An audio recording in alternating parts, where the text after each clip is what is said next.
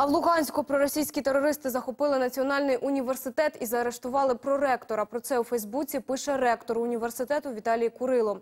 За його словами, напередодні озброєні бойовики остаточно захопили корпуси університету. Там тепер кабінети ділять кабінети і майно, призначають один одного на посади і погрожують працівникам. Почалися арешти викладачів.